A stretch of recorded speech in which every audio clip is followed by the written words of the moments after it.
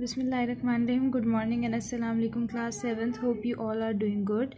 As you all know, we are doing chapter number 3. I prepare for a long stay of Robinson Crusoe. And we have read that um, Robinson has made his house strong and um, he had made a chair and a table for himself. Also, he had placed some shelves and of uh, uh, wooden wooden shelves on um, the wall wall of rock and also he has some guns and some food as well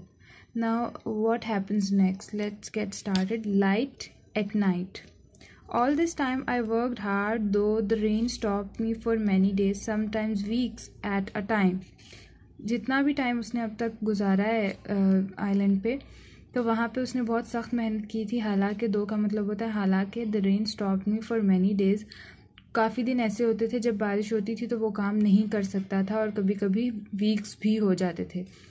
But I thought I should never be perfectly safe until the wall was finished लेकिन उसने सोचा कि वो perfectly completely safe नहीं होगा तब तक, जब तक वो अपनी दीवार जो कि उसने रॉक के साथ बनाई थी, जो कि अपने टेंट के राउंड फेंस टाइप बनाई थी, पोस्ट की वुडन पोस्ट की, वो कंप्लीट ना कर ले। When it was completed and I had strengthened the house the outside with earth I felt sure that if any people did come near they would not be able to see anything like a house जब ये दीवार complete हो चुकी थी और उसने strength यानी मज़बूत कर लिया था जो दीवार थी, उसके बाहर वाला हिस्सा, ज़मीन के साथ, मिट्टी के साथ तो उसको श्योर वो ही वॉज़ श्योर उसको यकीन हो गया कि अगर कोई भी लोग उसके करीब आए तो उनको बिल्कुल भी ये नज़र नहीं आएगा या पता नहीं लगेगा कि अंदर की तरफ़ एक घर है। And that was a very good thing as will be seen later on in my story और ये बहुत ही एक अच्छी चीज़ है। वो कह रहा है कि आगे चल के स्टोरी में कुछ ऐसे इंसिडेंट्स होंगे जो इस बात को प्रूव करेंगे कि उस वहाँ पर कोई भी अगर आ जाए, कोई कैनिबल्स या कोई वाइल्ड एनिमल्स या कोई भी लोग तो उनको पता नहीं चलेगा कि अंदर की साइड पे कोई घर है और ऐसा होगा आगे चल के स्टोरी में। During this time I went out to look for good for food every day when the rain stopped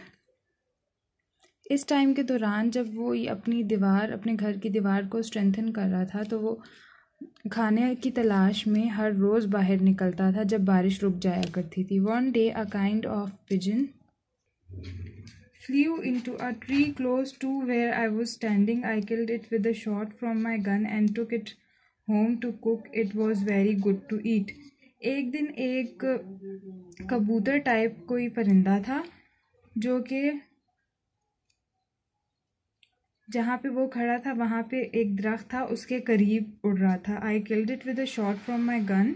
उसके पास एक गन थी, जिसके शॉट से, यानी जिससे उसने शूट किया और उसको मार दिया उस परिंदे को और उसको अपने साथ घर ले गया पकाने के लिए। It was very good to eat उसको वो पिजन काइंड ऑफ़ जो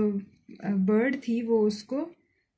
बहुत ही अच्छा लगा खा के उसको बहुत टेस्टी लगा। One thing I needed was a light as soon as it grew dark at about seven o'clock I had to go to bed there was one more thing that he needed and that was light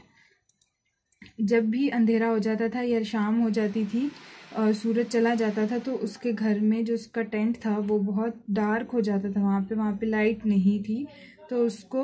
light की ज़रूरत होती थी सात बजे के बाद, जब वो बेड पे चला जाता था। So I tried hard to make some candles उसने कुछ कैंडल्स बनाने की बहुत कोशिश की। When I killed a goat I save the fat जब उसने एक बकरी को मारा था, उसका फैट बकरी का उसने सेव कर लिया था I made a dish out of clay and baked it in the sun मट्टी की एक डिश काइंड ऑफ़ प्लेट उसने बनाई थी और उसको उसने धूप में, यानी सूरज में रख के उसको बेक किया था, यानी बेक करने का यहाँ से मतलब है कि वहाँ पे उसने सूरज में उसको रख के सूखने दिया था ताकि वो बिल्कुल मज़बूत हो जाए और अगर उसमें कोई भी चीज़ वो पकाए या कोई भी चीज़ रखे तो वो टूटे ना so that's all for today we'll get to know what happens next and how does he make his candles in the next video lecture till then stay safe take care allah hafiz